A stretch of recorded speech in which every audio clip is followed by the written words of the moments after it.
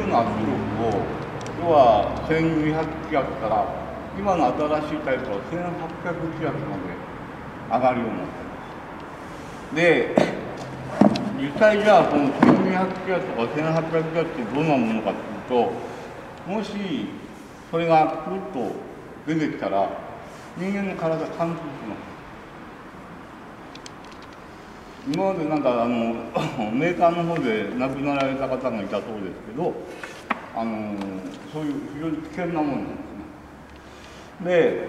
その高い圧力をまあ作っていく。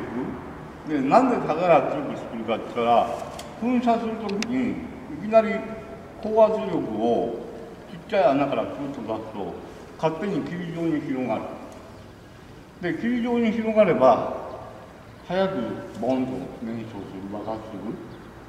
だから同じ 1cc の燃料をあの要は装備でポトッと落としたら燃えるまでに例えば3秒ぐらいかかる。